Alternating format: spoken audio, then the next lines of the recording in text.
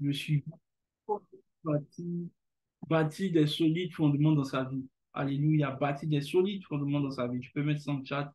Bâtir de solides fondements dans sa vie. Alors, ce soir, Dieu va encore nous parler et je vais vraiment vous expliquer quelque chose que voilà, vous devez comprendre pour bâtir des solides fondements dans votre vie. Alléluia. Déjà, quand on parle de fondements, vous devez savoir, la Bible dit dans Somme 11, verset 3, Dieu dit ceci, il dit, si les fondations, les fondements du juste sont ébranlés, que, il dit, si les fondements sont ébranlés, que fera le juste? L'homme de Dieu, Ludovic, mon frère, a prêché ce thème-là un jour. Voilà. Que faut-il, que fait le, que fait le juste lorsque les fondements sont ébranlés? Donc, il a dit beaucoup de choses que sur lesquelles je ne vais pas revenir. Mais aujourd'hui, vous devez comprendre que lorsque les fondements sont ébranlés, il y a beaucoup de choses qui ne peuvent pas, qui dysfonctionnent. Mais l'une des choses que vous devez déjà savoir, c'est que pour que les fondements soient ébranlés, ça veut dire que les fondements n'ont pas été bien construits. Alléluia. Lorsque vous voyez un immeuble qui est en train de tomber, ne vous posez pas la question de savoir si c'est le vent qui été trop fort, si c'est tout. La seule chose que vous devez savoir lorsqu'un immeuble tombe, les premières choses qu'on attaque, ce sont les fondations. Alléluia. Donc, la chute que vous voyez dans la vie d'une personne est déterminée en majeure partie par le fondement qu'il a reçu. Alléluia. Voilà pourquoi beaucoup de chrétiens se méprennent, ils se posent la question, qu'est-ce qui n'a pas marché pour qu'ils aient accepté Jésus au départ, ils aient marché avec Dieu au départ, mais ils sont ébranlés ou leur foi est en train de se disperser. La raison est simple. Je vous ai dit, lorsque vous voyez une maison tomber, la première chose que tout le monde sait, c'est que la maison n'a pas eu de bon fondement, n'a pas eu de bonne fondation, n'a pas eu de bon fondement. Donc, les fondements sont en fait la première chose qui indique en fait si une structure ou bien une personne va tenir ou pas. Si tu, me, tu es d'accord, tu dis Amen, j'avance ça. Donc, lorsque je veux vérifier la spiritualité de quelqu'un, il ne faut pas juste beaucoup regarder, il faut juste regarder la qualité des fondements que cette personne a. Alors, je vais t'expliquer une première chose d'abord que tu vas savoir. Alléluia ma souvenir Ce soir, laissez-moi, j'ai envie de juste prêcher un peu. C'est vrai que, c'est vrai qu'habituellement, il y a une certaine, euh, il y a une certaine, certain calme, mais aujourd'hui, je veux vraiment prêcher. Vous savez, la première chose que vous devez comprendre, c'est que vous pouvez vous-même savoir si vous êtes, vous avez de bons fondements ou pas. C'est la première chose que vous pouvez comprendre. Les fondements dans la vie d'une personne peuvent être testés. Alléluia. Il faut que tu saches et que tu notes très bien ce que je suis en train de dire. Les fondements dans la vie d'une personne peuvent être testés. Alléluia. Dans Matthieu 7, verset 25, voilà ce que la Bible nous dit?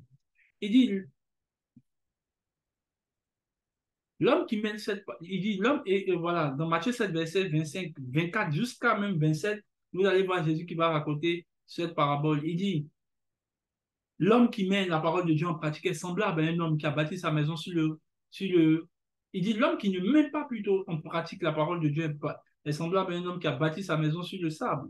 Il dit le vent, les tempêtes viennent. Et lorsque celle-ci souffre, souffle sur cette maison, puisque cette maison n'a pas de solide fondement, cette maison finit par tomber. Alléluia. Et n'est pas tout. Normalement, la suite du verset doit dire celui qui pratique la parole de Dieu est semblable à un homme sur lequel, sur, qui ressemble à une maison sur laquelle il n'y a pas de vent. Alléluia, c'est ce qui est logique. Est-ce que quelqu'un me suit? Normalement, on devrait dire que celui qui pratique la parole de Dieu, là, c'est une maison stable qui est bâtie sur le roc. Il dit celui qui pratique la parole de Dieu est semblable à une maison qui a un homme qui a bâti sa maison sur quoi? Le roc. Il dit maintenant, regardez ce qu'il dit maintenant. Il dit, le vent et la tempête viennent, mais cette maison reste solide. Maintenant, regardez une chose. Dans les deux cas de maison, même la bonne maison, dans la mauvaise maison, il y a un seul dénominateur qu'ils ont en commun. Alléluia, si tu étais, si tu étais vigilant, tu allais dire Amen déjà. Il n'a plus est tombé, les torrents sont venus, les vents ont soufflé et se sont jetés contre cette maison. Elle n'est point tombée parce qu'elle était fondée sur le roc. J'ai regardé les deux schémas de maison. On peut retirer des versets. J'ai regardé les deux schémas de maison. Dans le premier schéma, on trouve une maison qui est instable. On dit juste qu'il y a eu le vent, il y a eu la tempête, il y a eu la pluie. Dans la deuxième maison, normalement, une maison qui, voilà, quand Jésus parle d'une bonne maison, il est en train de parler d'une maison qui est bâtie sur lui. Alléluia. Donc, normalement, il ne devrait même pas avoir de vent. Alors, une chose que vous devez savoir, les vents, la pluie et la tempête sont les premiers testeurs des fondations dans la vie d'un homme. Alléluia. Ah ben oui. Il y a des gens qui pensent que les épreuves sont là pour les rendre plus forts. Non, les épreuves ne sont pas là pour te rendre plus fort. Ils sont là pour tester si tu as des solides fondations. Hmm. Tu sais, le vent, le vent, quand il est très, très violent, très, très violent, c'est là qu'on voit s'il y a des bonnes maisons ou pas. La dernière fois, j'ai assisté à cela. Je revenais, je revenais du, du, boulot et quand je rentrais, la pluie m'a pris, m'a pris en coup de route. Et pendant que j'étais arrêté là, je voyais le vent. Écoutez-moi, c'était la première fois que je voyais ça. Le vent qui est en train de soulever les toits voilà, des appartements de, des femmes qui vendent sur les, marchés. Ça enlevait les toits et tout. La violence du vent et la violence de la pluie enlevaient les toits devant moi. J'étais là même, j'ai dû rentrer dans une autre pièce parce que ça emportait tout ce qui voit, boire, tout ce que vous pouvez imaginer. J'ai regardé, waouh! Et puis j'ai commencé à comprendre. Le lendemain, quand je suis allé dans ce coin-là, il y avait beaucoup de coins, il y avait des débris parce que partout des maisons, bon, pas des appartements de marché qui ont été détruits, mais il y avait des maisons qui étaient là. Alléluia. Donc, une des choses que vous devez savoir, les maisons étaient là, mais il y a une chose qui est restée, c'est le vent. Et là, les maisons sont restées, mais le vent était là. La première chose que vous devez savoir, les épreuves ne viennent pas vous rendre plus fort. Il y a d'autres qui disent non, ça ne te rend pas plus. Ce qui ne te rend pas plus, ce qui ne te tue pas te rend plus fort. Frère, c'est faux. Les vents ne vont pas te tuer. Ils sont là juste pour tester si tu as une bonne fondation. Écoutez-moi bien, toute épreuve n'est pas là pour vous enseigner d'abord. Jésus n'a pas dit le vent et la pluie viennent pour vous enseigner ou bien pour enseigner la maison. Bref. Il dit, le vent et la tempête viennent pour tester les fondements. Comment tu sais que tu n'as pas de bon fondement? Simplement, excusez-moi, simplement, lorsque les épreuves viennent et que ta maison n'est pas assez solide, alléluia, ce sont les gens de chrétiens, vous allez remarquer, dès qu'ils ont des problèmes, ils commencent à s'affoler, ils perdent leur paix, ils perdent leur calme, ils perdent leur sang-froid. J'ai su d'une chose, tu n'es pas, faut pas dire que non, j'ai manqué de foi. Tu n'as même jamais eu la foi. Parce que la vérité, c'est que toutes ces choses-là viennent voir, vérifier si votre fondation est bonne. Alléluia. Je dis toujours bien, il faut toujours attendre. Il ne faut pas te presser. Tu sais, en plein temps de soleil, tout le monde croit qu'il y a une bonne maison. Moi-même, je croyais, tu vois, les appartements de marché que je voyais tout le temps, je pensais que c'était solide. Jusqu'à ce que le vent, écoutez-moi bien, les vents vont venir montrer quels sont ces chrétiens qui sont vraiment lourds spirituellement, qui sont vraiment bâtis sur le roc. Alléluia. Oui, tu sais, quand les sorciers viennent, ils souffrent sur toi. Tu sais, quand tu es parti comme nous, tu, tu, sais, ils disent, on dirait, lui, on ne peut pas le toucher, il faut aller sur une autre personne. Et il y a d'autres personnes, leur poids ressemble à une plume. Dès que ça fait, même, même le, le, le, souffle de ma respiration même peut les faire décoller. Écoutez-moi bien. La pluie et les vents viennent montrer. Écoutez-moi bien. Je ne peux pas savoir si tu es stable quand tout va bien. Écoutez-moi bien, ces maisons-là, tu ne peux pas savoir si elles sont stables lorsqu'il y a le beau jour. Il n'y a aucun chrétien. Il y a un jour, il y a une jeune fille qui me dit ceci. Elle dit, moi, je trouve que tu es assez stable spirituellement. J'ai dit, pourquoi? Elle dit, non, tu pries, tu as une bonne vie. Et franchement, voilà, tu es marié, tu as, une, vie de prière, tu es excellent. Franchement, moi, je trouve que ta vie est assez stable. Je lui dis, pourquoi? Elle dit, mais parce que tout va bien, justement, c'est l'erreur qu'il ne faut pas faire. La stabilité ne se mesure jamais lorsque tout va bien. La stabilité d'une chose se mesure lorsque les et les tempêtes viennent. Tu ne peux même pas savoir si une maison est stable tant qu'il n'y a pas la pluie. Alléluia, c'est le jour où il y a la pluie qu'on teste la stabilité de cette maison. Dis-moi, Amen, et j'avance. Aucun chrétien, faut pas regarder parce que je vais bien, que tu vas penser que je suis stable. C'est faux. La preuve, c'est que lorsque les tempêtes viennent, lorsque les épreuves viennent, il y a certains chrétiens parce qu'ils n'ont pas la ils sont découragés. C'est là que je sais que tu n'as pas eu de foi. Je sais que tu n'es pas stable, tu n'as pas de bon fondement. Alléluia. Il y a certains chrétiens qui perdent facilement la foi parce qu'ils sont déçus par quelque chose. Lorsque l'échec arrive, ils sont découragés. Ils ne sont plus stables. Pourquoi? Parce qu'ils n'ont jamais eu de fondement. Ne vous posez pas de questions. Le jour où vous voyez un chrétien qui pleure parce qu'il a des problèmes, sa fondation n'a même d'ailleurs pas existé. Alléluia. Alléluia. As déjà vu une maison lorsqu'il pleut, une bonne maison, qui est en train de s'envoler. Alléluia. As déjà vu ça Pas du tout. Elle reste stable. les chrétiens qui vacillent, les chrétiens qui sont un jour chrétiens, demain ils pêchent. Ton frère, il faut savoir une chose. Écoutez-moi bien, ça va peut-être nous choquer, mais c'est la vérité de la parole de Dieu. Tu peux toi-même vérifier si tu es fondé. Écoutez-moi bien, j'ai eu des problèmes de santé terribles. D'autres même m'ont vu hospitalisé, presque aveugle. Jamais je n'ai douté de l'amour de Dieu. Jamais je ne me suis assis. Oh, mais Seigneur, pourquoi moi ça arrive que moi? Même pas. Jamais. Je me suis jamais même posé la question. Seigneur, qu'est-ce que tu veux m'enseigner? Même pas. Écoutez, Dieu n'est pas bon quand Dieu n'est pas bon pour moi quand tout va bien. Dieu est aussi bon pour moi quand tout va mal. Alléluia. Je n'ai jamais, écoutez, je n'ose même pas. Un jour, je me souviens, j'étais gravement malade et il y a une soeur qui est venue m'encourager. Elle dit vraiment, sois fidèle. Mais est-ce que tu poses des questions à Dieu pour savoir d'où est l'origine de la maladie? Je lui ai dit, aucunement je ne peux poser une question à Dieu. Pourquoi poser une question à Dieu? Alléluia, je suis trop petit pour poser une question à Dieu. Alléluia. Donc Dieu est bon quand je suis mal. Dieu est bon quand je suis en bonne santé et je maintenant pose des questions quand tout va mal. Alléluia. Écoutez-moi bien, je suis resté stable. Jamais, jamais. Et ça, je prie encore que Dieu nous donne la grâce. Je ne veux tomber dans l'impudicité, jamais. Pourquoi? Parce que simplement mon fondement est solide. Pourquoi? Écoutez-moi bien, lorsque vous avez des fondations solides, vous n'êtes même pas perturbé par quoi que ce soit. Vous n'êtes même pas perturbé. On vient te dire, non, tu as perdu tes deux parents, tu souris, tu dis, ah, ils sont morts. Oh, vraiment, que Dieu, gloire soit rendue à Dieu. Et tu continues ton repas. Frère, il y a beaucoup de chrétiens qui ressemblent à des, à des plumes. Excusez-moi du terme, mais c'est vrai. À des plumes. Il suffit juste d'un seul coup de respiration et ils sont envolés. Alléluia. Souvent que je vois des chrétiens qui s'élèvent la nuit en train de prier contre des sorciers, je sais que ce sont des plumes. Comment tu peux savoir que tu es une plume? Satan peut rentrer dans ton rêve et faire son fiasco. Alléluia. Aucunement. Écoutez, je dois très peu pour qu'un diable, je vous assure, qu'un diable vienne s'asseoir dans mon rêve. C'est vous qui Écoutez-moi bien. Et au lieu, c'est pour ça qu'on va parler de, après, on va parler des principes bâtis sa vie. Parce que si tu n'es pas bâti sur le frère, Satan va te prendre. Un jour, tu te réveilles le matin, ta maison ici, et le jour la pluie vient, ta maison est de l'autre côté de la rue. Alléluia. Vous allez voir les chrétiens qui n'ont pas de consistance se baladent partout. Pourquoi? Parce que c'est les caractéristiques d'une maison qui n'est pas bâtie sur le sable. On peut l'emporter partout où on veut. Hmm.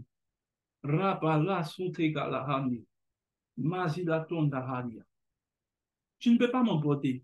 Et aucune personne à l'école de l'esprit ne sera emportée par une quelconque dans le nom de Jésus. Alors, je pensais que tu allais dire, mais les gens me regardent, pourtant je suis en train de parler de manière très prophétique, sérieusement. Aucunement, aucunement, aucunement. Je parlais la dernière fois de l'inconscience que j'ai vis-à-vis de certaines choses. Il n'y a aucune personne qui peut me stresser. Moi, je, je me sens tellement en paix que souvent, je pense qu'il y a un problème avec moi. Je me demande s'il n'y a pas des problèmes psychologiques. Souvent, je me trouve en train de me poser des questions si je ne suis pas inconscient. Alléluia. Alléluia. Alléluia. Pourquoi? Parce qu'il y a une certaine forme de compréhension. Écoutez, je suis bâti sur l'Europe. Bâti. À ton vient net le laquer. Écoutez-moi bien, ça peut faire des années, je ne sais même pas où le diable se trouve. Je ne peux même pas chercher à savoir où est son adresse. Alléluia. Alléluia. Même pas les songes, on m'invite à manger. Frère, il y a longtemps y a mangé dans les songes, je cherche une invitation pareille. Écoutez-moi bien, lorsque vous êtes encore une plume, Satan peut vous envoyer partout. Il peut te prendre dans ton rêve et puis t'envoyer au village. Écoutez-moi bien, c'est vrai. Écoutez, vous avez déjà vu la pluie. Lorsqu'elle est en train de faire des, dégâts, elle soulève des maisons et puis elle les envoie où elle veut. Il n'en sera aucunement pas pour quelqu'un qui a l'école de l'esprit. Parce que tu es bâti sur le roc. Satan vient, il essaie de souffler. Il voit que tu restes stable. Lorsque vous commencez à être stable, vous allez remarquer qu'il y a une tête qui vous anime. Vous n'êtes même pas perturbé par quelque chose. Alléluia. Il y a des chrétiens, dès que tu dit à zéro, ils commencent à pleurer. Bizarre. Frère, les gens qui sont bâtis sur le roc ne pleurent pas. Pourquoi ils pleurent? Alléluia, leur maison est bâtie sur le roc. Les gens qui sont bâtis sur le roc, aucun problème ne peut les, faire arrêter de prier. Personne. Même pas le diable peut les tenter. Regardez un gars comme Joseph, il était bâti sur le roc. Il dit, même si tu veux, fais ce que tu veux, je ne vais jamais pécher contre Dieu. Jamais. Il reste ferme. Toi, dès qu'on caresse tes oreilles, oh, crois qu'il a failli tomber. Dis arrête-moi d'être un chrétien plus. Sois un chrétien bâti, bâti, bâti, bâti, bâti, bâti. Je prie que tu sois bâti. Donc les vents viennent tester. Écoutez-moi bien, vous pouvez penser que vous êtes passé, vous pouvez penser que vous priez. Le jour où Satan va se poser, lorsqu'il va se poser sur une seule chose de vos vies, c'est là qu'on verra la stabilité. Dieu a pu jauger, Satan a pu jauger la stabilité de Job. Regardez ce qu'il lui dit. Il dit, Seigneur, tu penses que c'est d'une manière désintéressée que Job te sait Et tentable, ou du moins retire ta main, tu verras ce que je fais. Satan a soufflé les vents les plus différents sur la vie de Job. Pour ce que vous ne savez pas, la petite histoire que j'ai appris, Job a fait presque sept ans dans la lèvre. Imaginez pendant sept ans. Toi-même avec deux ou trois jours, tu risques de dire que Dieu t'a oublié. Pendant sept ans, le gars est resté stable. Jusqu'à sa propre femme vient lui dire, mon Dieu est en avance. Alléluia, il est resté stable. Stable, stable. Alléluia. Jamais il n'a dit, non, mais Seigneur, vraiment, tu es méchant. Franchement, moi, c'est bon. La foi, c'est bon. Arrête-moi ça. Écoutez-moi, je crois que Satan est en train de payer la, se payer la tête de plusieurs chrétiens. Il parie sur eux, il est sûr qu'il gagne. Il est sûr qu'il gagne. Il est sûr qu'il gagne. S'il enlève seulement un peu d'argent dans ta vie, il est sûr qu'il gagne. Il dit, Seigneur, juste ces chrétiens-là, surtout les chrétiens de cette génération, juste enlève leur téléphone dans leur main, tu verras. Ils vont te regarder en face et te maudire. Ils peuvent le faire. Enlève leurs deux parents. Ils vont plus aller à l'église. Enlève juste leur travail. Écoutez, rien ne doit vous ébranler. Rien. Rien. Même pas la mort de quelqu'un. Alléluia. Un jour, je me souviens, ils m'ont raconté. Ça m'a fait bizarre, moi-même, que j'ai eu ce sentiment. Je me dis que ma petite est gravement malade. Je n'ai pas l'impression que je suis perturbé. Je dis, mais Seigneur, je veux. Écoutez, souvent, je prie pour que Dieu mette les émotions que vous ressentez dans mon, vos cœurs. La détresse, là. Tu vois la manière, et, elle est malade. Ah bon, et, franchement, et, je, souvent je prie pour que j'ai ces sentiments. J'ai l'impression que je suis devenu un robot. C'est pas un robot que je suis devenu. Je suis devenu imperturbable. Jésus est dans une y a la tempête. Il est au courant. Plus tu vois là-bas, Jésus est en train de dormir. Il est en train de dormir. Oui. Ça, c'est la vie des gens qui sont maintenant dans la stabilité. Alléluia. Jacques 1, verset 4. Toutes les épreuves viennent pour tester notre stabilité. Toutes les épreuves que nous envoie, Dieu nous envoie. Jacques 1, verset 4, on peut lire. Et je vais donner deux, trois, quelques. Je vais commencer à donner les principes pour bâtir sa vie. Maristo Valakada. Ouais, je, je, je, parle sérieusement. Lorsque tu vois les chrétiens pour juste une question d'amour, ils commencent à pleurer. Frère, tu n'es pas stable. Tes émotions peuvent être perturbées par n'importe qui. Frère, même pas ma femme peut perturber mes émotions. Elle le sait. Alléluia. Mais il faut que la patience accomplisse parfaitement son œuvre, afin que vous soyez. Non, verset qui précède, verset qui précède, il dit quoi? Si quelqu'un d'entre vous. Non, verset qui précède, précède le verset, il dit.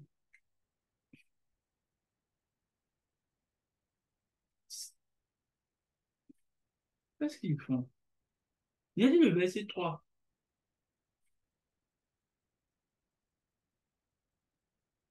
Verset 2. Mais bien aimé, regardez comme un sujet de joie complète les diverses épreuves auxquelles vous êtes exposés. Regardez, il dit, voyez ça comme la joie. Alléluia.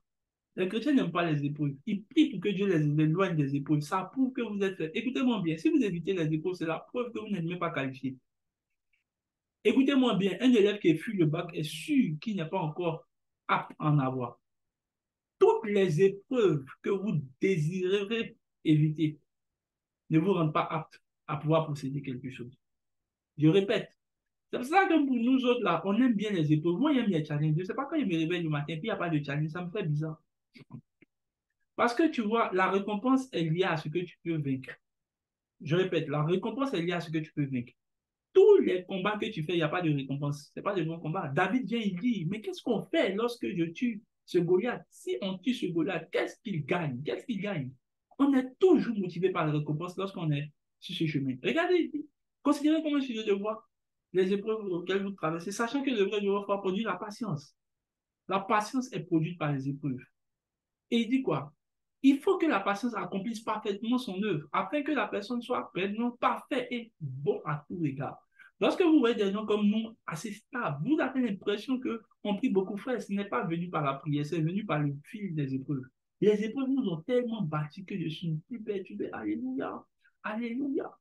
Je dis toujours aux gens, s'il a pu échapper à l'âme, il a pu échapper au feu de l'enfer, il ne voit vraiment pas qu'est-ce qui doit nous faire peur encore si Oui.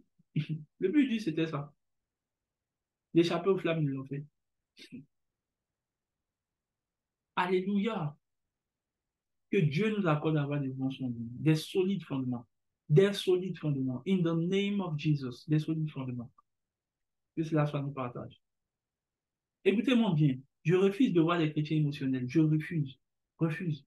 Dis avec moi, je refuse d'être émotionnel. Je refuse de marcher à tout vent de doctrine. Je refuse. Je refuse d'être des chrétiens qui en emportent ici. Un jour il est chrétien, un jour il n'est pas chrétien, un jour il prie, un jour il ne prie pas, un jour il est là. Écoutez, ça prouve que votre maison n'est pas stable. Ça prouve que votre maison n'est pas stable. Lorsqu'une personne est stable, elle reste dans la même habitude. Vous pourrez aller où vous voulez vous retrouver la maison. Est-ce que ta maison a bougé? Dis-moi. tu as laissé ta maison de tes parents, tu es parti. Un jour, tu dis, reviens à la maison, et puis tes parents disent, non, la maison a bougé. Pour aller dans un autre point. Une maison qui est stable reste toujours là. Elle est fixée. C'est vous qui bougez pas la maison. la maison de mes parents se trouve à Benjamin. Le jour où j'entendrai que la maison s'est bougé pour aller quelque part, je saurais qu'ils n'ont pas de solide fondement. Parce que lorsqu'une maison est établie, il n'y a pas un seul. Écoutez-moi bien.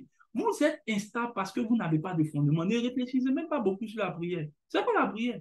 Je vais vous donner quelques éléments des fondements. Alléluia. J'en ai trouvé un peu cinq. Je pense qu'il y en a plus, mais je vais citer que cinq. Alléluia. Cinq fondements que tu n'as pas. Et toi, même quand tu vas apprécier, tu vas voir pourquoi je parle, je parle de fondement. Seigneur, aide-nous, accorde-nous la grâce. Premier fondement. 1 Corinthiens 3, verset 10 à 11. Premier fondement que tu n'as pas eu. Sûrement, pour que tu sois stable. Premier fondement, premier fondement que tu n'as pas eu. Écoutez-moi bien, aujourd'hui, je suis assez pragmatique. Lorsque j'approche un problème, je n'approche pas le problème physiquement, je l'approche spirituellement. Je m'appelle comprendre que lorsque vous voyez un chrétien qui commence à pleurer, un chrétien qui commence à dire que le diable attaque, il y a une seule chose que vous devez savoir, sa maison n'est pas stable. Alléluia. Aucune bombe ne peut faire bouger un bunker. Aucune. Le bunker est stable. Pourquoi? Parce qu'il est résilient. Verset 10, ça, de 1 Corinthiens 3. Regardez ce qu'il dit. 1 Corinthiens 10, 3. Il dit, selon la grâce qui m'a été donnée, j'ai posé le fondement comme un sage architecte et un autre a bâti dessus. Mais que chacun prenne garde à la manière dont il bâtit dessus. Ok, on continue. Verset 11 car personne ne peut poser un autre fondement que celui qui a été posé. Virgule. Le premier fondement, savoir Jésus-Christ Alors, je pensais que tu allais acclamer le Seigneur là où tu es et tu allais bénir le Seigneur, que le premier fondement que tu n'avais pas. Le premier fondement, c'est Jésus-Christ. Il dit, il ne faut, il dit, poser les fondements comme un sale architecte.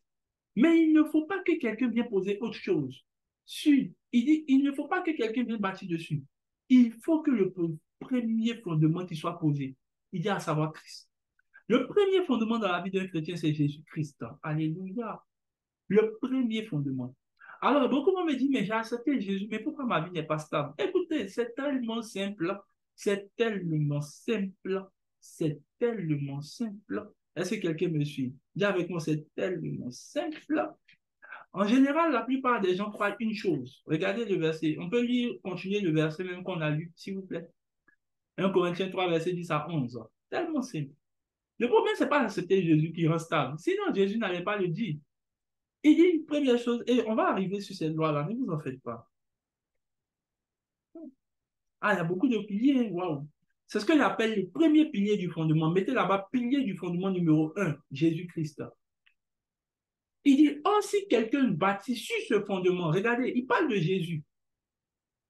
Si quelqu'un bâtit sur ce fondement avec de l'or, de l'argent, des pierres précieuses, du bois, du chaume, l'œuvre de chacun sera manifestée. Verset qui suit. Verset qui suit. Car le jour la fera connaître parce qu'elle se relèvera, révélera dans le feu et les chaumes éprouvera ce qui est l'œuvre de chacun. Je vous avais dit que les épreuves sont là pour tester si ton fondement est bon. Maintenant, regardez ce qu'il dit. Si quelqu'un d'autre bâtit sur ce fondement avec l'or, l'argent, le chaume, le verset, il y a des éléments avec lesquels on peut te faire bâtir un semblant de Jésus. Il dit, oh, si quelqu'un bâtit sur ce fondement de Jésus, ça veut dire quoi? Le fondement de Jésus est là et on bâtit ce fondement-là avec de l'or avec de l'argent et des pierres précieuses, des pierres précieuses, du bois, du chaume. Évidemment, l'or, l'argent, tout ça, là, c'est représenté par les richesses. Les pierres précieuses sont représentées par le monde et ses plaisirs. Le bois, le bois ici est représenté par quoi? Vous voyez, le bois, lorsqu'il passe dans le feu, il brûle forcément. Le bois est représenté par la vanité, le foin et le et tout ça. Écoutez-moi bien, il y a des gens qui peuvent bâtir Jésus dans votre vie, ou bien même vous pouvez bâtir Jésus dans votre vie avec toutes ces choses. Alléluia. Ah, est-ce que tu peux retirer le verset? Ce sont les chrétiens qui bâtissent leur vie avec Jésus parce qu'il donne l'argent, parce qu'il peut les rendre riches. Vous bâtissez un faux Jésus dans votre vie. Je vous dis la vérité. Il y a des gens qui viennent à Jésus pour que Jésus puisse les délivrer. C'est la première manière de montrer que tu as mal pour commencer ton.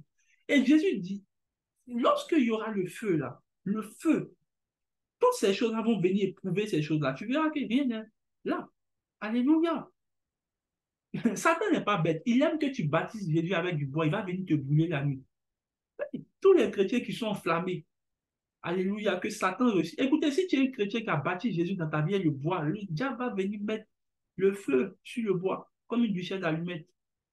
Alléluia. Bâtir Jésus avec le bois, c'est quoi? Il y a des gens qui ne baptisent pas Christ. Alors, tu vas me poser la question, mais homme de Dieu, concrètement, bâtir Christ dans la vie de quelqu'un, c'est quoi? Comment le premier fondement peut être? On peut savoir que notre Christ, là, c'était bien appris. Regardez ceci. Paul va le dire encore dans un autre texte, Éphésiens. Merci Seigneur. Éphésiens 4, verset 20. Merci Seigneur. Quelqu'un aime cette parole. Si tu n'aimes pas cette parole, j'avance. De toutes les manières, je, crois que Dieu est en train de moi me faire du bien. Éphésiens 4, verset 20. Éphésiens 4, verset 20. Merci Seigneur. Éphésiens 4, verset 20. Écoutez, ce n'est pas parce que vous avez accepté Jésus que vous avez vraiment bâti de bons fondements. tu peux bâtir de fondements mal. Regardez, je veux que vous veniez au verset 16 peut-être. Verset 16.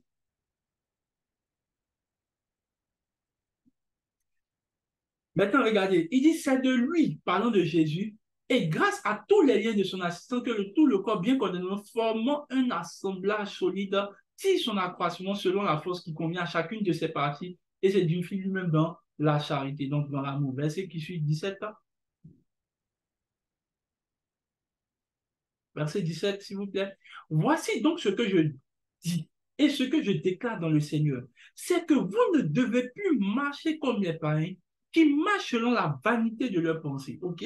On a compris tout de suite qu'on a parlé de bois, la vanité. On dit les ne marchez pas comme les païens qui marchent parce qu'ils ont à cause de la vanité de leur pensée. La vanité de leur pensée, c'est que ce sont les chrétiens qui marchent avec pas la parole de Dieu, mais leur manière de réfléchir. Alléluia.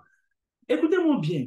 Il est dangereux pour un chrétien qui vient de naître de nouveau de commencer à avoir des appréhensions.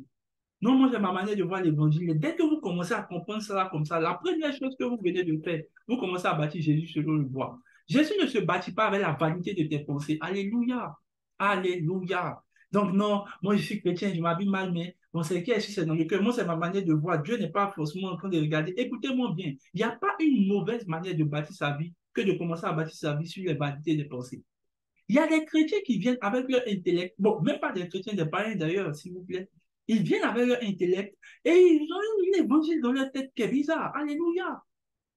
Et lorsque vous commencez à commencer à marcher avec Christ et puis vous avez une manière de voir les choses, vous êtes en train de bâtir ce qu'on appelle Christ avec du bois. Ils ont l'intelligence ici. Ils sont. Et regardez, Paul parle à des chrétiens. Il dit ne faites pas comme les païens, à des chrétiens. Parce qu'il y en a d'autres qui savaient à manière de penser qui était semblable aux païens. Ils ont l'intelligence obscure. Ils sont étrangers à la vie de Dieu à cause de l'ignorance qui en eux. Qu'est-ce qui fait que leur, ils, ils, ont une telle, ils ont une telle manière de réfléchir, une telle intelligence obscure à cause de l'ignorance. Écoutez-moi bien. Le deuxième point avec ces personnes, non seulement eux, ils bâtissent avec la vanité de leur pensée, mais la vanité de leur pensée même est due à l'ignorance qui habite en eux. Le mot ignorance ici, c'est le mot ténèbres. Les ténèbres qui habitent en eux. Il n'y a aucune bonne manière de connaître Jésus à part la connaissance de la parole de Dieu. Lorsque quelqu'un commence à connaître Christ de la bonne manière, il est sur le bon chemin. Mais comment il connaît? Par la connaissance. Jésus dit, vous connaîtrez la vérité. Qu'est-ce que la vérité fera? Elle vous rendra libre. Aucun chrétien, écoutez-moi bien, d'ailleurs même, ça, il faut que je précise les choses. Savoir même si la personne est chrétienne. Alléluia. Savoir même si la personne est chrétienne. Aucune personne n'est libre. Écoutez-moi bien, tu peux me dire que tu parles alors. Tu n'es même pas libre si encore Satan peut venir dans ton rêve. Tu n'es même pas libre. Écoutez-moi bien. Je vous l'ai dit, aucun, si un démon te tient par un péché, tu n'es même pas encore libre. Écoutez-moi bien. Jésus parlait du péché avec les pharisiens dans Matthieu, dans Jean chapitre 8. Il dit, si vous êtes affranchi par le Fils, vous êtes libre du péché. On peut laisser le verset, s'il vous plaît. Le verset continue. Et il dit ceci, à cause de l'ignorance qui habite en eux,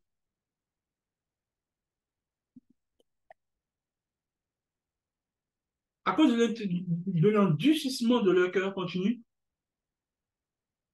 ayant perdu tout sentiment, ils se sont livrés à la dissolution pour commettre toute espèce d'impureté jointe à la cupidité. Vous avez vu, on a dit bâtir Christ sur l'or et l'argent. Écoutez, même aujourd'hui, c'est les hommes de Dieu, on voit ça. Il y a des hommes de Dieu qui prêchent pour l'argent. C'est l'argent qui motive leur service pour Dieu. Donc, ils peuvent te bâtir Jésus avec l'argent. Il y a quelqu'un qui me posait la question aujourd'hui, est-ce que c'est normal qu'un homme de Dieu te dise d'envoyer une offrande pour qu'il prie pour la délivrance de ta famille? Alléluia. ben écoute, ça prouve qu'il entend de bâtir Christ avec l'argent. T'inquiète, Satan va souffler sur le bois et tu verras comment ta famille sera enflammée. Verset 20. Maintenant, c'est le verset 20 qui me dit ceci. Maintenant, regardez, il dit commettre toutes sortes d'impuretés. Donc, ce sont des chrétiens qui commettent toutes formes d'impureté. Ils boivent, ils vont dans les maquis, toutes formes d'impureté. Et il dit quoi? Avec cupidité encore pour mettre dessus. Mais il dit, mais vous, ce n'est pas ici que vous avez appris Christ. Donc, il y a une manière d'apprendre Christ là qui fait que vous n'êtes pas comme ça. Donc, ça veut dire qu'il y a des gens dont Paul parle qui manière d'apprendre, leur manière d'apprendre Christ n'a pas été la bonne. Écoutez, vous pouvez apprendre Christ de la mauvaise manière. Oh oh, oh oh, là je touche quelques points. Écoutez-moi bien, on peut apprendre un mauvais Christ, un mauvais Christ. Écoutez-moi bien. Et ça n'a rien. Écoutez, on peut t'apprendre un Christ qui te fait croire. Écoutez-moi bien. Connaît des chrétiens qui vivent mal, mais ils croient tellement en l'amour de Dieu. Je connais une soeur.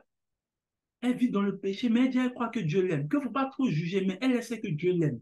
Franchement, l'amour de Dieu est bon pour elle. Tu vois, Christ, lui, a été mal enseigné. En général, ce sont des personnes qui vont écouter les messages, malheureusement, de certains bons hommes de Dieu qui écoutent, qui parlent que de l'amour de Dieu. Et puis elle dit, elle sait que Dieu l'aime. Et puis malheureusement, tu tombes sur des enseignements comme ça. Quels que soient tes péchés, tes défauts, même si tu traverses, tu coules dans le péché, Dieu t'aime, il te tend. Et tu une consolation. Christ a été appris de la mauvaise manière. Pourquoi je sais cela? Regardez. Écoutez-moi très bien. La Bible dit ceci, Paul dit ceci. Considérez quelle a été la bonté de Dieu, mais aussi quelle est la sévérité de Dieu. Donc, la bonté de Dieu, c'est vrai que tu la connais, mais la sévérité de Dieu aussi, tu dois la connaître pour avoir un Christ équilibré dans ta vie. Lorsque, comment je sais cela? La dernière fois, le Saint-Esprit ouvert mon esprit. Je vous en parle dans le dévot du mois d'octobre. Vous pouvez prendre cela. ce que je prêche, c'est le mois d'octobre. Dieu ouvre mon esprit. Il dit, est-ce que tu sais que Paul aussi a eu le même problème? Je dis, ah bon? Il dit, lorsque Paul a commencé à enseigner la grâce, les gens ont compris qu'ils ne pouvaient plus, en fait, ils pouvaient, en tout cas, le péché abonde, la grâce surabonde. Alléluia, Amen. Vérité absolue. Ils ont pris, ils ont commencé à pécher. Paul est revenu, il dit, s'il vous plaît, ce n'est pas parce que la grâce abonde que, il dit, parce que le péché, péché abonde que la grâce va surabonder, que vous allez commencer à pécher. Alléluia. Et écoutez-moi bien, Lui-même a eu ce problème. Le Christ qui lui a appris n'était pas assez équilibré. ah. Écoutez, bienvenue à l'école de l'esprit, où on enseigne un Jésus équilibré. Écoutez-moi bien, on peut te faire croire un Jésus qui n'est pas vraiment un Jésus. Je parle à quelqu'un. On peut te faire croire un Jésus. Ça dépend de la manière dont tu as appris Christ. Quand j'écoute un chrétien prier, ça dépend de la manière dont il a appris Christ. Quand j'entends éternel, mon Dieu, mon roi, je sais que toi, la manière dont tu as appris Christ, là, n'est pas la même manière dont tu as appris Christ. Alléluia. Est-ce que je parle à quelqu'un? Je n'ai rien dit, hein. tu peux faire ce que tu veux quand tu pries. Mais nous qui entendons ça, on sait de la manière dont tu as appris Christ. Quand tu peux t'habiller mal, et puis croire que Dieu t'aime malgré tout ton habillement mal, et que Dieu aime ton cœur seulement, je sais que toi, ta manière dont tu as appris Christ a été mauvaise. Les premiers enseignements que vous pourrez voir ce genre de personnes, ils ont écouté l'amour de Dieu seulement. Le premier enseignement pour accepter Jésus, c'était l'amour de Dieu. C'est normal. Et ils ont grandi dans les enseignements, on parle l'amour de Dieu, l'amour de Dieu, l'amour de Dieu. Oh, c'est fini. Ils ne connaissent plus l'autre partie de Dieu. Alléluia. Il y a des gens qui croient que Jésus était charpentier. Et pauvre, d'ailleurs. Est-ce que tu sais que tu peux croire un faux Jésus, non? Un faux Jésus, c'est de l'idolâtrie. Parce que ne pas adorer le vrai Jésus, c'est adorer un faux Jésus. Un faux Jésus aussi, c'est de l'idolâtrie. Il y a des chrétiens qui vont, soyez honnêtes, levez vos mains. Est-ce qu'il y a des chrétiens qui croient que Jésus n'est pas de maison? Il y a des chrétiens qui croient ça, Jésus n'est pas de maison. Et puis ils sont convaincus hein, que Jésus, non. La Bible dit, et puis la Bible dit dans un verset que le Fils de l'homme n'a ni un, ni, ni même un, un, un, endroit où poser la tête. Donc Jésus n'est pas de maison. Pourquoi il te dit avoir une maison? Tout ça, c'est les choses du monde. Il dit, ah bon, c'est un Jésus comme ça qui t'a enseigné. Ben oui. Cette personne est Jésus déséquilibré dans sa tête. Donc, elle est idolâtre un autre Dieu. C'est pas Jésus. Le Jésus que nous connaissons dans la Bible, dans Jean, a une maison. Alléluia. Donc, Jésus nous donne aussi un héritage, c'est de posséder les territoires. Donc, quelqu'un qui comprend ça a un Jésus équilibré dans sa tête. ah. Quelqu'un qui a appris mal Jésus peut même pas marcher correctement dans la sainteté. Mais ça dépend du Jésus qu'il a appris. Écoutez-moi, nous, le Jésus que nous, on nous a appris, c'est le Dieu trois fois saint. C'est le Dieu qui nous aime, mais c'est le Dieu dans sa beauté aussi qui nous corrige. C'est pour ça que Jésus est équilibré. La dernière fois quand j'ai parlé de la correction, vous avez vu, moi je parle beaucoup de l'amour de Dieu pour ceux qui savent, mais je parle aussi de ce que Dieu peut faire. Et de la correction, c'est un Jésus équilibré qu'on donne à l'école de l'esprit, ce n'est pas un Jésus imaginaire. Alléluia. Toi, ton Jésus, ton Jésus que toi tu suis là, il n'a aucunement été soumis à quelqu'un. Bizarre. Écoutez, la manière dont vous voyez une personne ne pas se soumettre à quelqu'un, ça dépend du Jésus qu'on a appris. Quand tu parles dans les églises, il y a certaines églises, quand tu parles là-bas, on te dit non, les affaires de paix spirituelle, pasteur, se soumettre à un homme, ça c'est de l'idolâtrie. Comment un homme peut conduire ta vie? Ça dépend du Jésus que tu as écouté. Moi, j'ai grandi dans des églises comme ça. Hein.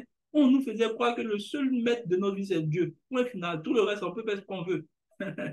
Donc, tu te lèves. Puis quand tu veux parler, quand un, quelqu'un, un chrétien veut parler sur toi ou bien un aîné de la foi, ah non, cette manière de faire là. Mais pourquoi il me parle? Chacun a sa relation avec Dieu, chacun a sa relation avec Dieu, chacun ça. Écoute-moi, ça dépend du Jésus que tu as appris. Sinon, le même Jésus qu'on a appris là, la Bible dit qu'il nous a donné des bergers pour nous paître. Paître, ça veut dire quoi? Corriger et nous donner le chemin. Ça dépend du Jésus que tu as dans ta tête. Le Jésus que nous on voit dans la Bible, c'est un Jésus qui se soumet. Il dit, je ne fais rien sans que je voie mon Père faire. Sans que mon Père ne me donne un auquel je ne fais rien.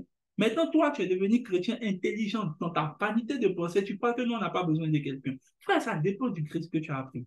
Nous, ce n'est pas de cette manière que nous avons appris Christ. À l'école de l'esprit, oh, je pensais que tu allais dire Amen. Ce n'est pas de cette manière que nous avons appris Christ. Ce n'est pas de cette manière.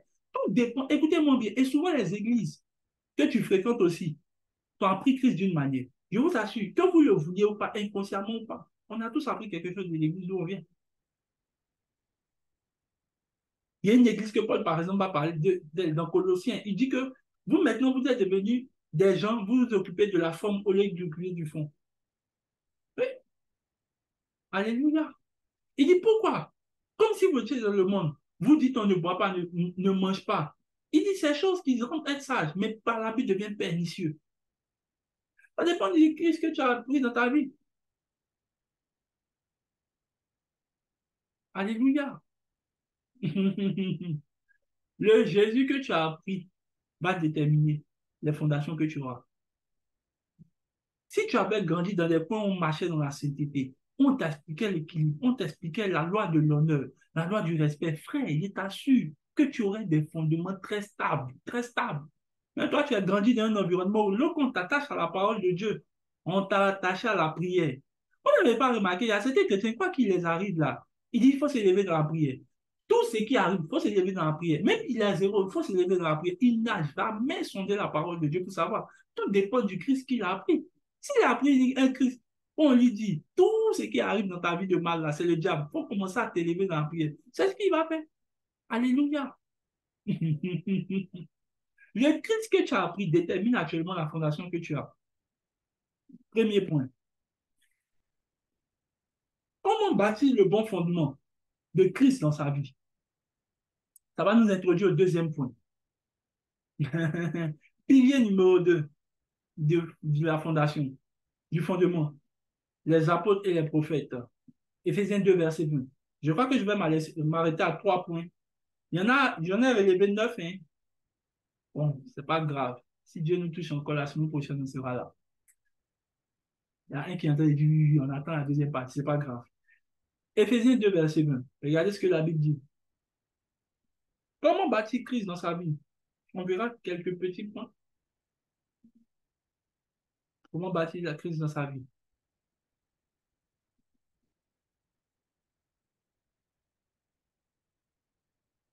Il dit, vous avez été édifiés sur le fondement de qui? Des apôtres et des prophètes. Jésus-Christ étant lui-même la pierre angulaire. Donc, on a vu le premier fondement, Deuxième fondement, c'est les apôtres et les prophètes. Voyez-vous le verset? Les apôtres et les prophètes sont les dons que Dieu fait au corps de Christ, à une personne, pour en fait bâtir sa vie. L'une des choses qui fait que ta vie n'a pas été bien fondée spirituellement parlant et que tu n'as pas eu de bonne base, tu n'as pas été bâti et édifié par le fondement des apôtres ou des personnes ou des prophètes. Les apôtres et les prophètes sont l'ensemble des personnes. Je préfère mettre cette casquette-là que Dieu donne comme don à l'Église ou même à une personne pour la bâtir. Il est très rare, et écoutez-moi bien, si vous êtes honnête, ceux qui sont honnêtes peuvent peut-être lever la main. Dites-moi honnêtement. Quand vous avez accepté Jésus, est-ce que quelqu'un vous a bâti? Je n'ai pas dit, vous êtes allé à l'église, vous vous êtes rentré à la maison, vous avez regardé les en Je ne parle pas de ça. Quand vous avez donné votre vie à Christ, est-ce que quelqu'un vous a pris? Comme Paul et vous a bâti dans l'enseignement. Je ne parle pas d'aller à l'église assister ou je peux rentrer à la maison. Je parle de quelqu'un que Dieu vous a donné. Vous avez remarqué que c'est ce qui vous a fait après croire, ou du moins, c'est ce qui a fait que vous avez commencé à marcher, croyant que ça va jusqu'au bout, vous voyez que ça ne va plus. Parce que le deuxième fondement n'a jamais été là. Il dit, il finit par dire, regardez, il prie, il dit, nous avons été édifiés par le fondement des apôtres et des prophètes. Jésus-Christ étant la pierre angulaire. Donc, au premier pilier est fini. Deuxième pilier, Dieu t'envoie vers les prophètes et les apôtres. La majorité des chrétiens que je vois qui sont instables n'ont jamais eu de personne qui les a bâtis. Je ne peux jamais croire un chrétien qui commence sa vie chrétienne et qui n'est pas bâti quelque part. Ce n'est pas vrai. Écoutez, moi-même, j'ai été comme ça dès nous. Au début, j'ai marché dans ma foi, mais j'ai tombé toujours dans les mêmes péchés. La masturbation, tu finis d'écouter l'enseignement, tu es bien, tu es assis, tu es bien stable. Tu penses que tu as fini de tuer tous les péchés. Au bout d'un moment, tu retombes encore. Parce que je n'avais pas compris qu'il fallait un apôtre ou un prophète quand je parle de cela, je ne vais pas dire forcément titre, apôtre ou prophète. Lorsque Dieu est en train de parler, il est en train de parler des dons qu'il il a donné pour bâtir, pour bâtir. Est-ce que tu as des gens qui bâtissent ta vie? Des gens qui t'enseignent, qui te donnent la parole, qui te disent on fait ça, on ne fait pas cela. Alléluia. Qui te donnent les enseignements qu'il faut pour bâtir ta vie chrétienne. Il y a des chrétiens qui ne savent même pas la sainteté, c'est quoi, mais ils sont chrétiens, ça fait des années. Mais qui t'a enseigné? Personne. Non, moi, écoutez-moi bien, je ne, je, ne, je ne le dis pas pour vous indexer, mais parce que même moi-même, j'ai été victime de cela. Personne ne vous bâtit. Non, moi, j'ai commencé ma vie chrétienne, j'ai commencé seul. Et puis, tu es content. Tu n'as même pas eu de fondation. Tes fondements ne sont pas solides. Crois-moi, frère, crois-moi. Soyons humbles. Crois-moi. Toi-même, tu vas te rendre compte. Alléluia. Il y a un fils qui est là. Il est chrétien, ça fait longtemps, mais il y a longtemps que le diable oppresse il sait de qui je parle. il va rien peu sur le côté. Jusqu'à ce que peut-être il me rencontre et que je commence à bâtir la parole de Dieu. Et la dernière fois, il m'a rendu un témoignage qui m'a vraiment touché. Je n'ai même pas eu à prier pour lui, j'ai juste eu à enseigner. Alléluia, peut-être un jour Dieu fera grâce, il rendra son témoignage de lui-même. Mais écoutez, il a été chrétien pour longtemps. Satan s'en fout de ton ancienneté. Il sait que tu n'as pas eu de bon fondement. Jésus dit première chose, le fondement Jésus-Christ, Deuxième chose, la fondation qui maintenant, mais comment on bâtit Jésus? Il dit, ce n'est pas de cette manière que vous avez appris Christ, mais comment on t'apprend Christ? C'est parce que Dieu te donne des apôtres ou des prophètes qui vont bâtir et sans toi. Question, qui t'a bâti quand tu as commencé ta foi? Question. Après, vous êtes étonné que vous n'ayez pas de bon fondement parce que simplement vous n'êtes pas attaché à ceux qui vous bâtissent. Écoutez-moi bien. Lorsque Dieu vous donne une personne pour vous bâtir, vous ne devez même pas vous en éloigner. Ésaïe chapitre 30.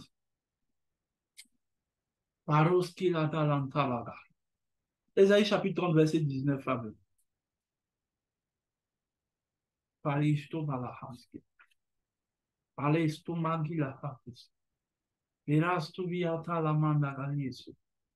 Merci Jésus. Merci Jésus. Merci Jésus.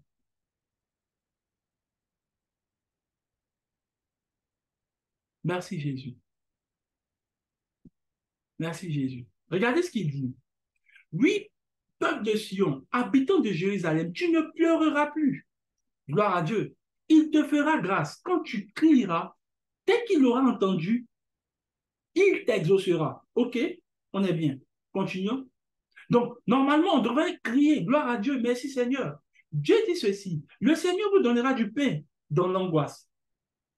Donc, quand tu auras, le pain, c'est quoi? Donne-nous aujourd'hui notre pain quotidien. Donc, c'est quoi? Tout ce dont tu as besoin. Dans l'angoisse, ça veut dire que dans les problèmes, là, Dieu va te donner le pain et de l'eau dans la détresse. Donc, parlant de l'Esprit de Dieu. Donc, l'eau ici est matérialisé par l'Esprit. Lorsque vous êtes dans la détresse, la plupart du temps, vous avez besoin d'orientation, vous avez besoin que l'Esprit vous conduise pour sortir d'un problème. Donc, il dit, il y a deux choses majeures que vous allez recevoir de moi. Quand vous priez, il dit, il dit, quand vous allez prier là, vous allez recevoir deux choses de moi. Vous allez recevoir, un, tout ce dont vous avez besoin quand vous êtes dans l'angoisse, et deux, vous allez recevoir la direction de l'Esprit pour sortir de la détresse. Maintenant, regardez le point virgule. La version même là, tu vois, la version anglaise dit, Yet shall not thy teacher be removed into the corner anymore. Il dit, ceux qui t'instruisent, oh, j'aimais beaucoup la version euh, parole de vie, il dit, ceux qui t'enseigneront ne seront plus cachés à tes yeux. L'autre version dit, je, version française dit, ceux qui t'enseignent, Dieu, il dit, Dieu ouvrira tes yeux sur ceux qui t'enseignent. Regardez, il dit, mais tes yeux verront ceux qui t'instruisent. Maintenant, regardez le verset qui suit.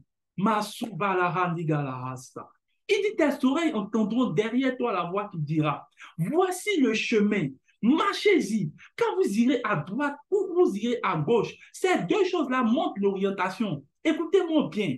Dieu dit, quand il veut te faire sortir d'un problème, la première chose qu'il fait, c'est d'ouvrir tes yeux sur ceux qui t'enseignent. Parce que c'est ceux qui t'enseignent qui ont la capacité. Écoutez, regardez, il dit ceci, tes oreilles entendons derrière toi la voix, la voix de Dieu. Il dira, marchez-y. Quand vous irez à droite ou à gauche, écoutez, les chrétiens qui manquent d'orientation divine ont un autre problème que la prière. Hmm. Je sens que chocs, c'est que ce soit les chrétiens, mais c'est la vérité. La personne prie, Dieu dit, je vais t'exaucer. Mais comment Dieu va exaucer? Il dit, je vais te donner quoi? Tout ce dont tu as besoin dans l'angoisse et tout ce qu'il te faut comme orientation pour sortir de la détresse. Mais comment il fait cela? Il dit, j'ouvre tes yeux sur ceux qui t'enseignent et c'est eux qui t'enseignent. Quand tu les verras, ils te donneront par leur enseignement ce qu'il te faut faire. Et bizarrement, la voix de Dieu va venir dans ton esprit. Comment tu sais cela? Regardez, quand vous êtes souvent en train d'écouter des enseignements, c'est un peu comme si votre esprit s'ouvre pour commencer à savoir, oh, je comprends maintenant certaines choses. Oh, je vois maintenant. Je vois maintenant ce que je peux faire. Écoutez-moi bien, vous restez fermé, vous restez non exaucé parce que vous manquez de voir ce que Dieu vous montre pour vous enseigner. Lorsque Dieu veut te faire sortir d'un problème, comment il essaie cela? La première chose qu'il fait, c'est d'ouvrir tes yeux sur un enseignant. Lorsque Dieu voulait sauver Paul, la première chose qu'il fait, c'est de lui faire voir Ananias. Lorsque Dieu veut t'aider, écoutez, la meilleure manière pour Dieu de t'aider, ce n'est pas que tu pries. Dieu dit qu'il exauce les prières. Normalement, Dieu devrait s'arrêter là. Il ne s'est pas arrêté là. Il dit, je vais vous donner du pain, mais il n'aurait pas dû s'arrêter là. Il dit, vos yeux vont s'ouvrir. Ça veut dire que, écoutez, hmm, il dit, vos yeux, écoutez, remettez-moi le verset, il dit, ceux qui vous enseignent ne seront plus cachés. Ça veut dire qu'il y a une sorte de voile qui ne te permet pas de voir ceux qui sont des enseignants. Hmm, il dit, ceux qui seront des enseignants ne te seront plus cachés. Est-ce que vous savez qu'il y a de bons enseignants qui sont cachés à certaines personnes?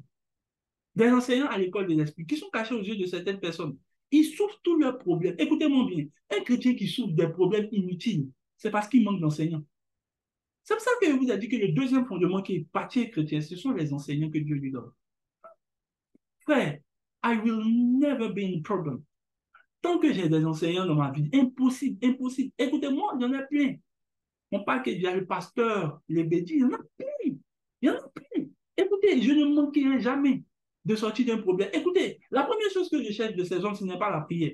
La première chose que je cherche de ces hommes, c'est les enseignements qu'ils donnent. Je ne connais ni de près ni de loin Bishop Oyedepo. Pour avoir juste écouté ses enseignements, pour être sous sa, pour, être sous sa doctrine, pour être sous ce qu'il dit?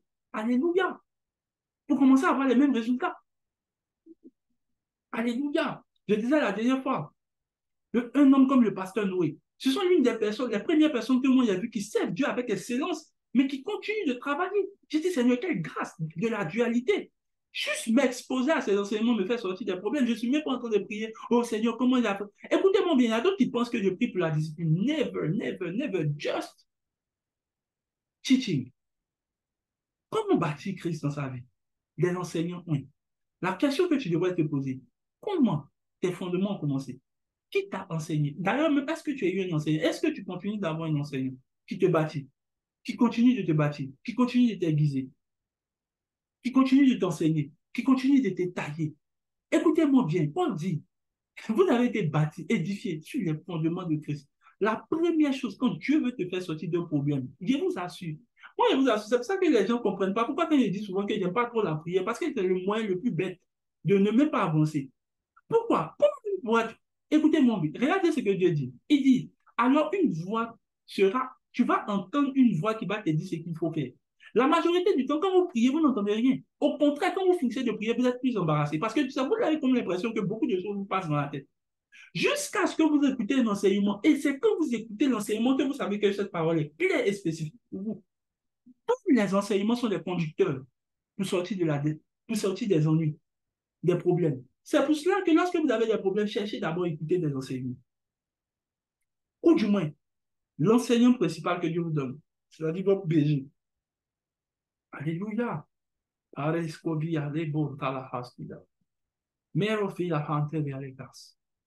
Un jour, j'étais en train de vivre un problème au niveau de ma santé. Et puis Dieu me dit, je prie, je, prie, et puis j'interroge le Seigneur. Seigneur me dit, qu'est-ce qui ne va pas?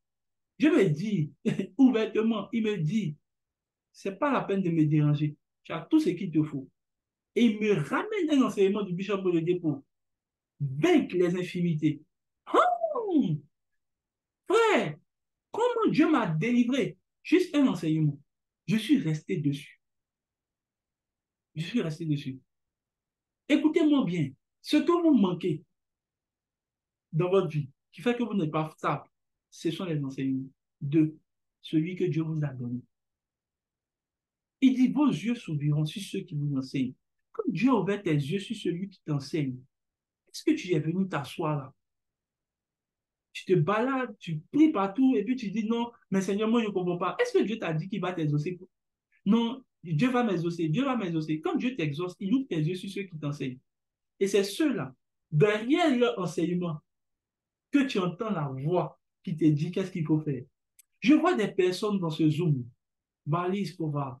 Je vais m'arrêter là, mais je vois des personnes dans ce Zoom à qui Dieu est en train de parler clairement, à qui Dieu est en train de donner des orientations claires, qui sont en train de comprendre certaines choses, à qui, qui sont en train de sortir de certaines oppressions, qui sont en train de sortir de certains problèmes, juste au son de la voix de celui qui enseigne? Alléluia. Que Dieu ouvre vos yeux, que Dieu ouvre vos yeux. Lorsque ce jeune homme m'a rendu son témoignage, j'étais juste stupéfait. Je n'ai jamais prié pour lui. À la fin, peut-être il rendra son témoignage. Je n'ai jamais prié pour lui, presque même tout le temps quand on s'appelle enseignement. Je fais, je fais sortir les versets. Dieu m'a dit enseigne, enseigne. C'est dans l'enseignement, il saura quoi faire. L'enseignement est le premier canal pour vous donner l'orientation divine. Ce n'est pas la prière. Je vous ai toujours dit, la parole de Dieu va vous enseigner à prier, mais la, prière ne va pas vous enseigner la parole de Dieu. Aucune personne ne peut sortir d'un quelconque griffe du diable, de du diable s'il n'est pas exposé d'enseignement. Quand Dieu ouvre vos yeux sur les enseignants, vous devez vous asseoir, vous devez courir pour les écouter, pour les chercher, parce que vous allez délivrer votre âme de force. Dieu dit, mon peuple est détruit parce qu'il lui manque quoi? La connaissance. La connaissance, elle est transmise comment? Par les enseignements. Le diable peut se promener partout chez un chrétien, dans n'importe quelle vie, tant qu'il ne voit pas la connaissance qui est établie. C'est pour ça que la Bible parle de la lumière. Il dit, comment le jeune homme rendra-t-il plus sortir C'est pas la parole de Dieu. Écoutez-moi bien, vous n'êtes même pas stable. Je vous dis la vérité, de toute la manière, la semaine prochaine, on continuera sur les autres fondements. Premier fondement été raté. Tu as mal appris Christ. Deuxième fondement encore vient d'être raté. Tu n'as même pas eu quelqu'un. Ou du moins, tu continues de ne même pas avoir quelqu'un qui t'enseigne. Et je n'ai pas dit d'avoir quelqu'un dans ta tête ou bien quelqu'un en ligne. Je parle de quelqu'un qui bâtit Christ en toi. Qui peut t'arrêter. Dis-toi, ce que tu fais, ce n'est pas bon.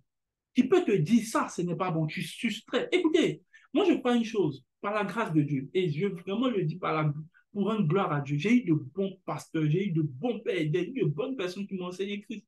Alléluia. Qui m'ont enseigné Christ dans ma vie la loi de la sainteté. Quand les gens me voient aimer la parole de Dieu, c'est ceux qui m'ont bâti, ils m'ont fait comprendre a petit. Le seul suprême guide de ta vie, c'est la parole de Dieu. Il n'y a pas d'autre chose. Alléluia. Il dit, c'est selon la parole de Dieu que tu dois conduire ta vie. C'est pour ça que je crois que je suis assez équilibré, assez bien stable. Les gens pensent que j'ai appris ça quelque part. Aucun diable. La parole de Dieu habite en moi. Jésus dit ceci. Si la parole de Dieu habite en vous, il dit, moi le Père, nous viendrons, nous demeurerons en vous. Aucune place au diable. Aucune. Pourquoi? J'ai eu des bons enseignants. Toi, ceux qui t'ont enseigné te disent qu'il faut lire un verset. Catastrophique, catastrophique, catastrophique. Viens avec nous, catastrophique.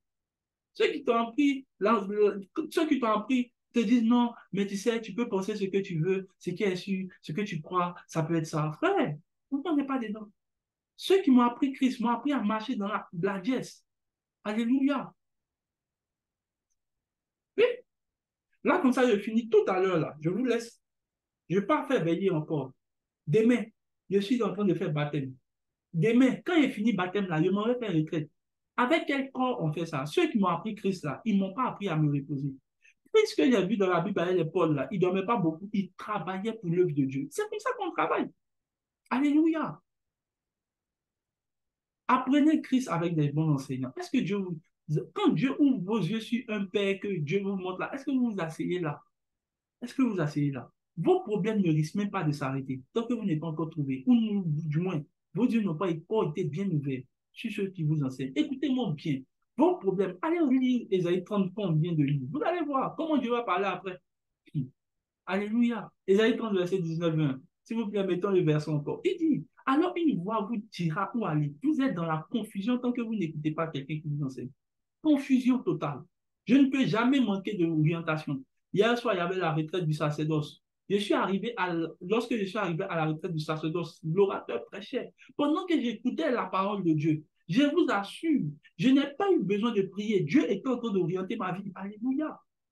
Vous les professionnels, regardez ce qu'il dit. Celui qui t'enseigne ne sera plus caché à tes yeux et tu pourras le voir de tes yeux. Alléluia. Oh, Seigneur, merci, merci, merci. Il dit, il te donnera à boire. Tu vois, il dit, celui qui t'enseigne ne sera plus caché à tes yeux, tu pourras le voir de tes yeux. Quelle grâce. Écoutez, quand Dieu ouvre vos yeux sur un bon enseignant, c'est une grâce. C'est là que Dieu est en train de vous montrer qu'il est en train de vous délivrer. Verset qui suit. Verset qui suit. Tu entendras derrière toi ces paroles. Voici le chemin que tu dois prendre. La parole de Dieu, la voix de Dieu. Va à gauche, va à droite. C'est dans la voix de ce, cette personne qui t'enseigne que tu vois maintenant ce qu'on appelle l'orientation. Combien de personnes manquent les orientations de Dieu? Parce qu'elles n'écoutent pas ceux qui les enseignent. Quand celui qui t'enseigne dit, je crois que tu dois faire cela, non, moi je vais aller. Écoutez, Dieu dit, tu entendras une voix derrière qui te dit, voici le chemin que tu dois suivre pour aller à droite ou à gauche. Continue au verset qui suit. Non, non, oui, arrête là. Arrête là, verset 21. Verset 21, je crois que c'est verset 21. Alors, l'orientation vient d'où dans les enseignements? Voilà pourquoi, frère, je t'encourage à faire ceci. Premier point, bâtir les bons fondements dans sa vie de manière très sérieuse. Il faut avoir Jésus-Christ comme pierre angulaire. Il faut bâtir ta vie sur Jésus. Il ne faut pas bâtir ta vie avec de l'argent, comme je parle de choses, de la vanité de tes pensées, la vanité de tes pensées. Lorsque tu commences à marcher avec Jésus et tu commences à marcher avec un Jésus que tu as dans ta tête, c'est ce que j'appelle les chrétiens mentaux. Les chrétiens qui ont, qui ont eu Jésus mental, en griffe. Ils croyaient Jésus dans leur tête, que Jésus peut être comme ça, que selon eux, selon eux, selon eux, les chrétiens, selon eux, marchent dans la vanité de leur pensée. Paul dit ceci. Ce n'est pas de cette manière dont vous avez appris Christ. Donc, tu peux apprendre Christ de la mauvaise manière lorsque tes pensées peuvent t'envoyer n'importe où.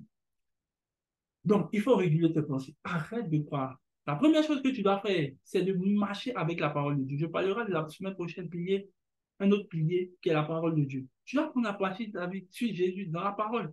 Il dit celui qui met la pratique est, semblable à un homme qui a bâti sa maison sur le roc. Donc, pratiquer la parole de Dieu te bâtit. Alléluia. Mais d'abord, il faut la connaître. Et lorsque tu la connais, écoutez, il dit celui qui pratique. Il n'a pas dit celui qui entend la parole de Dieu. Il dit celui qui pratique. La majorité des chrétiens ne pratiquent pas la parole de Dieu. Ils, ils font une fois la parole de Dieu, mais ne pratiquent pas la parole de Dieu. Tu lis ta Bible une fois. Est-ce que tu lis ta Bible tous les jours? Alléluia. Tu as de la haine dans ton cœur. Est-ce que tu as de la haine dans ton cœur un seul jour ou bien tous les jours? Alléluia. Faut pas dire non, moi, je pardonné une fois. Hein. Mais ça, là, seulement, je ne peux pas pardonner, frère. Satan est à ta table. Vous êtes en train de faire un dîner gala ensemble. Je vois des personnes. Satan dégage de ta vie. Satan dégage de ta vie. Ah, pendant que je parle, je vous assure, c'est comme si je vois Satan en train de déposer les, couverts et puis dire non, je ne mange plus à cette table. Je ne suis plus invité. Alléluia. Des personnes verront clairement, clairement des péchés les quitter. Clairement, pendant que je parle. Clairement, les, péchés, les péchés. Pourquoi? Parce que la vérité vient de la connaissance. Vous connaîtrez la vérité et la vérité vous rendra libre. Cette vérité vous rend libre aujourd'hui dans le nom de Jésus. Deuxième chose, priez que Dieu ouvre vos yeux sur ceux qui vous enseignent. Et s'il vous plaît, quand vous avez les yeux ouverts sur ceux qui vous enseignent, ne vous les méprisez pas. Asseyez-vous toute votre vie. Les gens n'ont pas suivi Jésus temporairement, ils l'ont suivi toute leur vie. Timothée n'a pas suivi Paul temporairement, il a suivi toute sa vie. Vous n'êtes pas bâti une fois, vous êtes bâti toute votre vie. Alléluia. Continuez de pouvoir. Quand vous avez des bons enseignants comme École de l'Esprit, vous devez venir vous asseoir tous les jours. Ne prenez pas vos sauts d'humeur pour maintenant suivre Jésus. Pas du tout. Suivez-le avec véhémence, avec vérité. Quels que soient mes états d'âme, je ferai faire ce que Jésus veut pour moi. La dernière fois, mon frère a perdu sa, soeur. Il continue de prêcher. Alléluia. Il est allé à l'église. Il est parti. Il a fait ce qu'il fallait. Et les gens même lui ont demandé, mais pourquoi tu ne t'as pas dit on allait te soutenir? Et il m'appelait riait. Et puis on dit, est-ce qu'ils savent qu'on n'a même pas besoin de soutien? Frère, je peux perdre toute ma famille, je n'ai même pas besoin que tu me dises, s'il te plaît, mes condoléances, je suis déjà assez fortifié. Ah, là, Gaya. Sérieusement. Frère, cette temps-ci, surtout cette année, vraiment, Dieu a vraiment commencé à m'aider à pouvoir mettre moi-même de côté mes émotions et puis travailler vraiment à m'attacher à la parole de Dieu. Franchement, je suis assez motivé par Dieu lui-même, par sa parole. Que Dieu nous aide. Que sa grâce soit avec nous. Prie. Il ne faut pas dire, oh Seigneur, j'ai vu un bon enseignement en ligne. Écoutez-moi bien. Écoutez-moi bien. Ce n'est pas ce que tu lis en ligne qui te bâtit. Parce que j'ai pas dit, on n'a pas dit que Dieu vous a fait grâce des enseignements. Il dit, il vous a fait donc des enseignants. Donc, ce qui sous-entend, ce n'est pas aller regarder l'enseignement en ligne. La preuve là, c'est que beaucoup de nous tous ici on regarde l'enseignement en ligne, mais est-ce que ça nous bâtit? Tu es tu es fortifié, mais est-ce que tu pratiques tous les jours? Tu n'es pas stable. Et après, tu cherches le nom de Dieu en PV. Tu veux me voir? Non, je veux que tu pries pour moi là. Parce que vraiment, je souffre là. Mon frère, tu ne souffres pas assez. On dit de chercher un enseignant, que Dieu ouvre tes yeux sur un enseignant qui va te bâtir. Que Dieu te nous aide. Frère, je prêche la parole de Dieu, c'est la grâce de Dieu. Je crois une chose, depuis un bon moment. La Bible dit qu'il soutient toute chose par sa parole. Lorsque Dieu soutient une chose, c'est par la parole qui a été donnée. Ta vie est soutenue parce que je suis en train de donner cette parole. Ta vie est soutenue, tous les problèmes. Écoutez, lorsque vous voyez que vous n'êtes plus soutenu, la parole de Dieu n'est plus là. Vous voyez, cette, voyez ce livre? Vous voyez ce livre? Si je mets, si je mets ce téléphone sur ce livre, ce, ceci-là est un soutien pour mon téléphone. Si je retire ce soutien, le téléphone tombe. Donc, toutes les personnes qui n'ont pas de parole, qui ont été bâties par des enseignants, n'ont aucun soutien. C'est l'une des choses pour lesquelles, lorsque le diable vient souffler, il ne voit rien. Jésus dit, celui qui pratique la parole est semblable. Que Dieu nous aide. Père, nous te rendons grâce. Nous te disons merci pour ce temps que nous avons passé. Bâtir sa vie nécessite beaucoup de choses. Nous avons manqué sûrement les bons fondements dès le départ. Et Seigneur Dieu, c'est vrai que nous n'avons pas cette excuse de dire que nous n'avons pas su. C'est vrai que l'ignorance habite en nous. Mais aujourd'hui, Seigneur, tu envoies ta parole pour nous aider. Seigneur Dieu, lorsque nous voyons notre vie instable, contrôlée par les intempéries, contrôlée par les difficultés, nous savons que nous n'avons pas reçu de bons fondements. La seule chose que nous demandons ce soir, c'est que les fondements, savoir Christ, savoir les apôtres et les prophètes, soient établis dans nos vies, dans le nom de Jésus. Quelqu'un me dit Amen. Que Dieu te bénisse. N'oublie pas de rester pour les informations.